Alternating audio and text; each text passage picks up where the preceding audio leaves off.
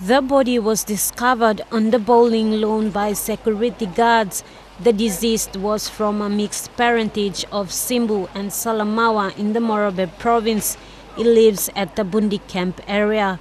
Police suspect he died from a severe beating. His body had bruises and cuts to his face. The cause of death will be confirmed after a post-mortem. So far, no eyewitnesses have come forward to provide leads.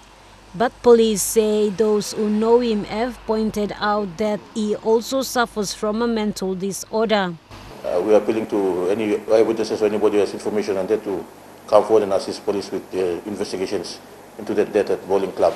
In another incident on Saturday, a body of a man was found floating among debris and shrubs along the Bumbu River.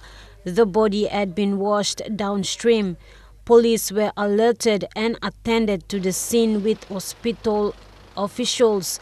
They were approached by a relative of the deceased who had been looking for him along the river banks. It was later discovered that the deceased was with two other male relatives and had been drinking at West Taraka.